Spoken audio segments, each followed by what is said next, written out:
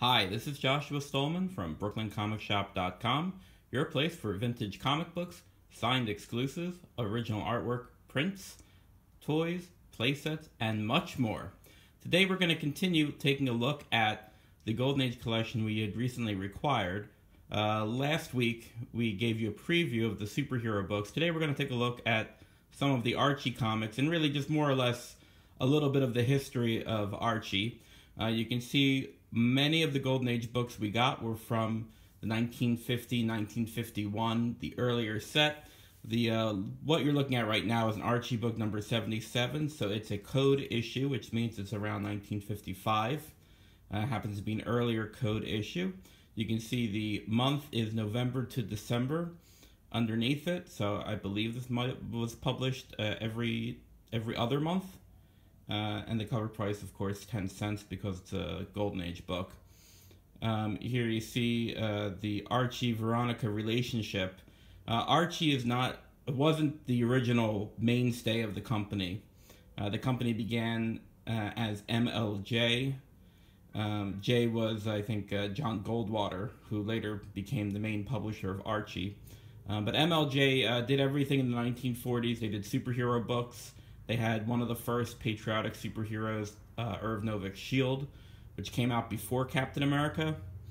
You had uh, horror books. You had everything uh, really in between.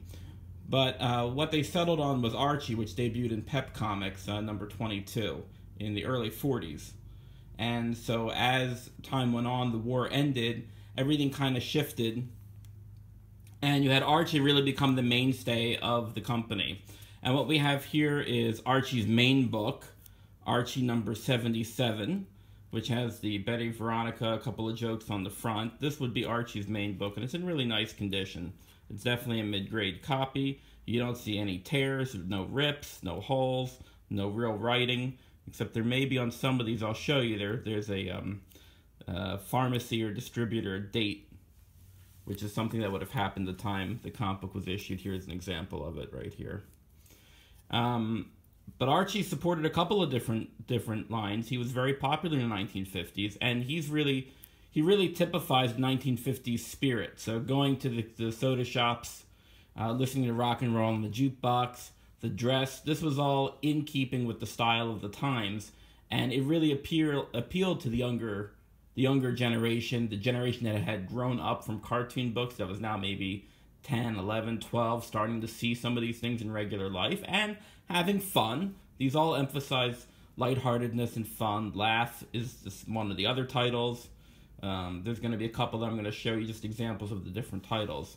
One thing that is kind of interesting because I'm sure they were well aware they were dealing with young adolescents is you're going to see Betty and Veronica look a little bit more, um, I don't know, shapely.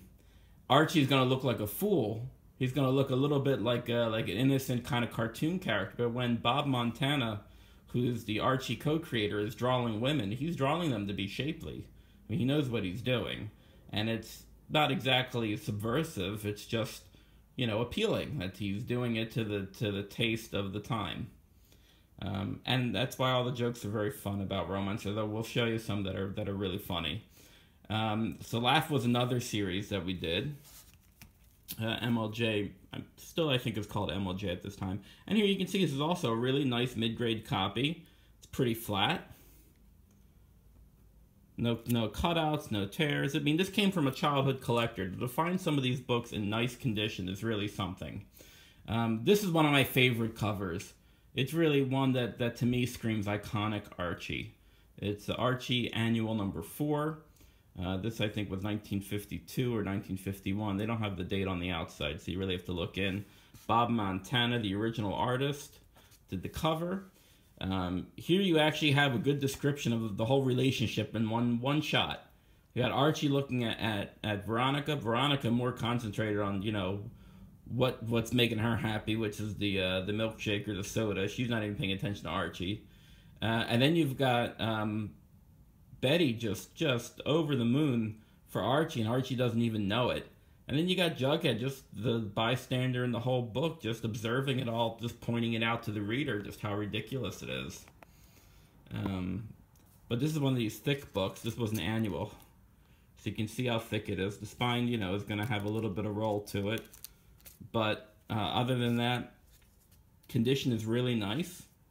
The tape was removed. It didn't take off any of the color, but you get some a little bit of residue. So, um, and and really, what do you have? A little bit of writing here to make it ten cents so that they could sell it. Probably, uh, probably at the time too. Uh, but another great example of uh, 1950s Archie. Here we have Archie's joke book, number one. This was this is a great. You can already see the sense of style that they have here that they're using. Um, but Archie was again became so insanely popular with the the growing generation growing up from superhero books. They really the Archie company MLJ just dropped their superhero line. I don't believe they had much of a western line. They really just focused on diversifying Archie and really pumping it out. And one of the reasons they did it was because they were so popular that people were copying them. So you had you had other characters coming in from from um, from DC, from Marvel. You had um, many, but uh, what Archie did is they just kind of diversified their humor titles. So Archie had a couple of different things. Then you had Archie's girls, Betty and Veronica. This is number two. This definitely has a little bit of condition issue, which you can see on the side, but the book is complete. It's still attached um, at the bottom staple and no writing on it. So, I mean, it's a really nice reading copy, but still one of these key uh, golden age books. It's a pre-code book. You have a little bit of, of uh, Betty and Veronica talking about all the guys in their life. This is my favorite cover. Betty and Veronica number three. I don't know what happened in the Tunnel of Love, but uh, Betty is like completely done. She she is out of it. Um, but again, this one's in much better condition than number two. Number three is really nice and has a great fun cover to it. Diversifying yet again. Let's take a look at Archie when he's little. So then they did a Little Archie, which is really kind of a reference to um, Little Dot, Lulu, a lot of those um, cartoon characters that had um, that really were for younger generation, but maybe maybe if you're weren't old enough to be interested in Archie, maybe you do Little Archie. And this is a giant. This is a thick book. Also, it's really well done, uh, well kept, and you can see the uh, the binding here is nice. Uh, some of the other titles they put out at the same time. Uh, this one,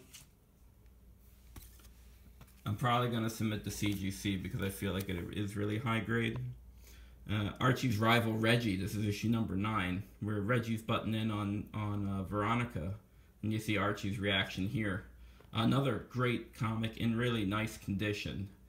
Um, so the so the uh, Golden and Silver Age uh, collection really yielded some nice pieces.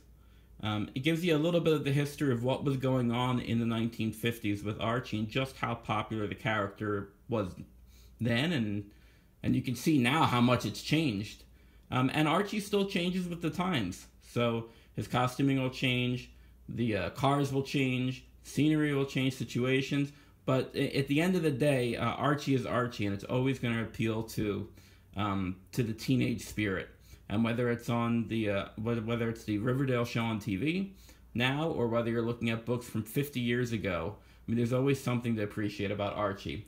If you'd like to get a chance to own some of these books, they're going to be going up on our website, brooklyncomicsshop.com. You can check us out again for vintage, golden, silver age, modern books, signed exclusives figures, playsets, original artwork, and prints. Thanks for watching.